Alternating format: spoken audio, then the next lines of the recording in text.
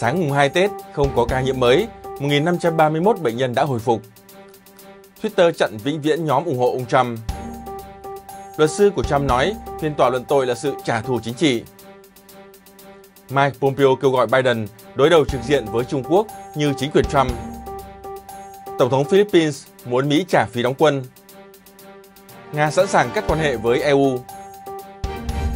Quý vị đang theo dõi mục điểm tin sáng ngày mùng 2 Tết của DKN TV và tiếp sau đây là các nội dung chi tiết.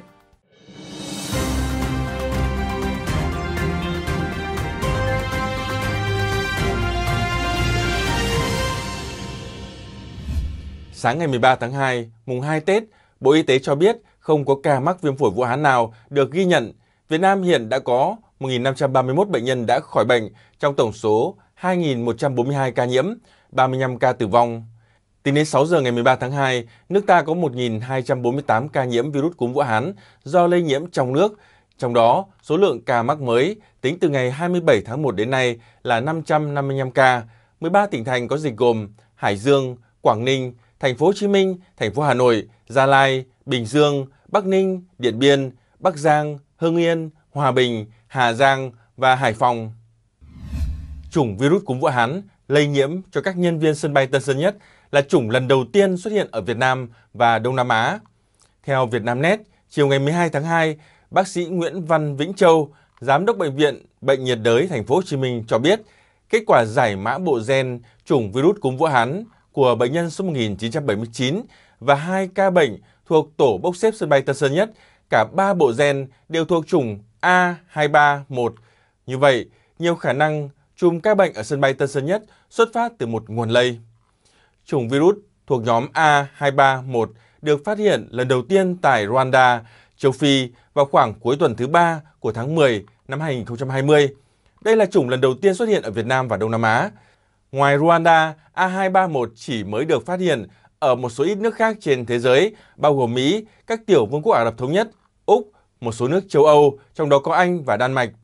Hiện nay, chưa thấy những dấu hiệu diễn biến bất thường ở các quốc gia này.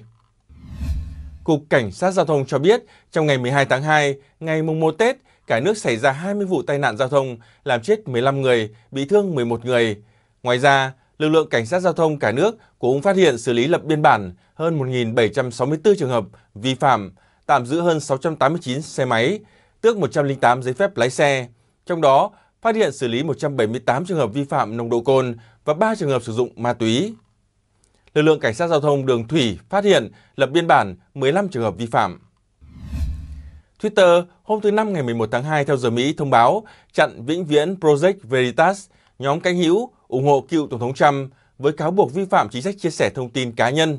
Quyết định của Twitter được thực hiện một ngày sau khi Project Veritas đăng video cho thấy các thành viên của nhóm đối mặt với ông Guy Rosen, lãnh đạo phụ trách vấn đề bảo mật và an ninh của Facebook bên ngoài nhà riêng của ông. Nhóm Project Veritas cho biết từ kênh Telegram rằng Project Veritas đang kháng cáo quyết định này vì họ không vi phạm quyền riêng tư nào.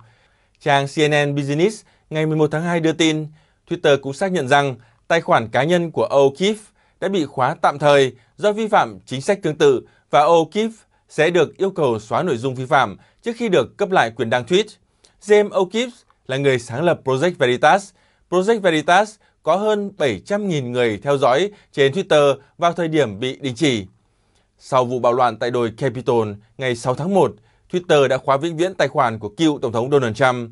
Động thái này của gã khổng lồ mạng xã hội Mỹ đã vấp phải sự chỉ trích của nhiều lãnh đạo trên thế giới. Twitter cũng đã tăng cường kiểm duyệt tài khoản của phe cánh hữu. Theo Reuters, luật sư của cựu Tổng thống Donald Trump hôm thứ Sáu, ngày 12 tháng 2 cho rằng phiên tòa luận tội là một hành động trả thù chính trị của Đảng Dân Chủ. Các điều khoản luận tội trước Thượng viện là một hành động trả thù chính trị bất công và vi hiến trắng trợn, luật sư Michael Van der Ven của ông Trump nói trong phần biện hộ mở đầu của mình và thêm rằng đó là một cuộc săn phù thủy có động cơ chính trị của Đảng Dân Chủ. Ông Van der Ven cũng lập luận bài phát biểu ngày 6 tháng 1 của cựu Tổng thống được bảo vệ theo quyền tự do ngôn luận của Hiến pháp Hoa Kỳ. Luật sư lập luận đây không phải là những lời của ai đó xúi dục một cuộc nổi dậy bạo lực. Để kết tội ông Trump, phải có 2 phần 3 số nghị sĩ trong tổng số 100 ghế ở Thượng viện đồng ý, nghĩa là cần ít nhất 17 đảng viên Cộng hòa thách thức cựu Tổng thống Donald Trump. Trong cuộc họp báo ngày 12 tháng 2 tại Tòa Bạch Ốc, Tổng thống Joe Biden phát biểu, Tôi nóng lòng muốn xem những người bạn Đảng Cộng Hòa của tôi làm gì. Cho đến nay, không bên nào công bố ý định gọi nhân chứng, khiến các thượng nghị sĩ phải theo dõi các lập luận và cuối cùng tổ chức bỏ phiếu ngay sau thứ Bảy. Cựu Ngoại trưởng Mỹ Mike Pompeo ngày 12 tháng 2 kêu gọi ông Biden đối đầu trực diện với Trung Quốc giống như cách mà chính quyền tiền nhiệm đã làm. Ông Pompeo nói trong cuộc phỏng vấn với Fox News, trong 50 năm, Hoa Kỳ đã cho phép Đảng Cộng sản Trung Quốc trà đạp lên tất cả chúng ta, phá hủy hàng triệu công việc ở đây. Họ ăn cắp tài sản trí tuệ, họ xâm nhập vào các cơ sở nghiên cứu của chúng ta. Tất cả những điều này, nói thẳng ra, là diễn ra dưới thời các Tổng thống Đảng Cộng Hòa và Dân Chủ. Ông Pompeo tiếp tục, khi họ theo dõi chúng tôi từ một lãnh sự quán ở Houston, chúng tôi đã đóng cửa cơ quan này. Khi họ tham gia vào các hoạt động thương mại không công bằng, chúng tôi đặt thuế quan lên họ. Chính quyền của chúng tôi đã xử lý trong mọi khía cạnh của hoạt động sinh kế, đó là những gì chính quyền Biden cần làm. Bình luận của ông Pompeo được đưa ra sau khi Biden có cuộc điện đàm đầu tiên kể từ khi nhậm chức Tổng thống với Chủ tịch Trung Quốc Tập Cận Bình vào hôm thứ Tư. Ông Pompeo cũng nhấn mạnh tầm quan trọng của chính quyền Biden trong việc giải quyết mối đe dọa từ Trung Quốc. Vì cựu Ngoại trưởng kết luận rằng mối đe dọa lớn nhất đối với Hoa Kỳ là Đảng Cộng sản Trung Quốc. Đồng thời nói thêm, đội ngũ của Biden cần phải đối đầu trực diện với chính quyền này giống như cách ông Trump đã làm. Theo Reuters, Tổng thống Duterte ngày 12 tháng 2 yêu cầu Mỹ trả tiền nếu muốn duy trì một thỏa thuận cho phép Washington khai triển quân đội tại Philippines. Tổng thống Philippines phát biểu trước các binh sĩ tại căn cứ không quân Clark ở Pampanga rằng từ bây giờ tôi muốn được thông báo nếu có binh sĩ Mỹ nào ở đây, nếu các vị muốn thỏa thuận các lực lượng thăm viếng VFA được khai triển chứ, nếu vậy các vị phải đóng tiền. Đây là trách nhiệm chung, nhưng phần trách nhiệm của các ông không phải là miễn phí. Khi chiến tranh nổ ra, tất cả chúng ta đều phải chi trả. Ông Duterte ám chỉ Washington và Bắc Kinh đẩy mạnh các hoạt động quân sự ở Biển Đông. Thỏa thuận các lực lượng thăm viếng là một thỏa thuận năm 1998 giữa Manila và Washington tạo cơ sở pháp lý cho sự hiện diện của quân đội Mỹ tại Philippines. Đây được coi là sự hỗ trợ với Hiệp ước Phòng thủ chung, một thỏa thuận khác giữa Philippines và Mỹ nhằm bảo đảm hai nước sẽ hỗ trợ quân sự cho nhau trong trường hợp các vùng đô thị hoặc lãnh thổ của họ ở Thái Bình Dương bị nước ngoài tấn công. AFP đưa tin, Liên Hợp Quốc ngày 12 tháng 2 kêu gọi quân đội Myanmar trao trả quyền lực cho chính quyền dân sự, cảnh báo không sử dụng vũ lực với người biểu tình.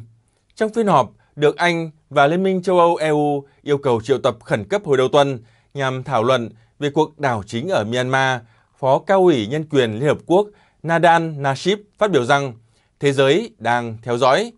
Bà An Nashib chỉ trích việc chính quyền quân sự Myanmar bắt giam các lãnh đạo dân cử, trong đó có cố vấn nhà nước Aung San Suu Kyi, Tổng thống Win Myint In và hơn 350 người khác. Các quan chức Liên Hợp Quốc khác và các nhà ngoại giao cũng lên tiếng cảnh báo về mối nguy hiểm với nền dân chủ Myanmar và tình trạng bạo lực đối với người biểu tình.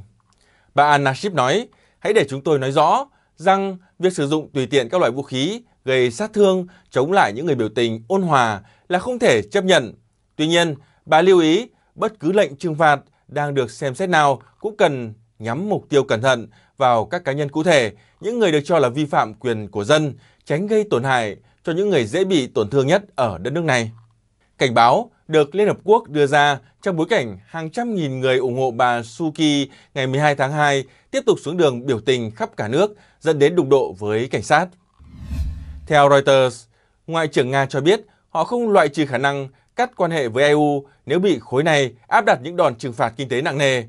Chúng tôi xử lý vấn đề dựa trên thực tế rằng chúng tôi sẵn sàng cho điều đó, Ngoại trưởng Nga Sergei Lavrov trả lời trong cuộc phỏng vấn được đăng trên trang web của Bộ Ngoại giao nước này vào ngày 12 tháng 2 khi được hỏi liệu Moscow có hướng đến việc cắt quan hệ với Liên minh châu Âu EU hay không.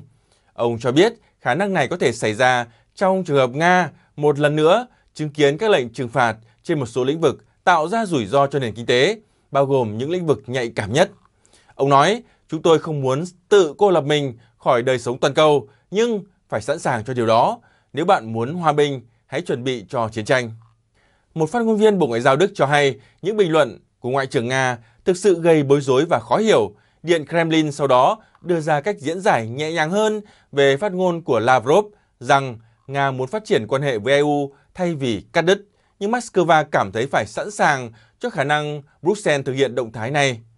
Quan hệ giữa Nga và phương Tây vốn luôn căng thẳng từ sau chiến tranh lạnh đang trở nên trầm trọng hơn do vụ bắt nhà hoạt động đối lập Alexei Navalny. Mạng xã hội chat của Mỹ có tiêu chuẩn đạo đức cao, là nơi chia sẻ thông tin không bị kiểm duyệt, an toàn và bảo mật. chat không bị chi phối bởi chính trị, tiền bạc hay quyền lực chat bảo vệ chính nghĩa và tôn vinh các giá trị truyền thống.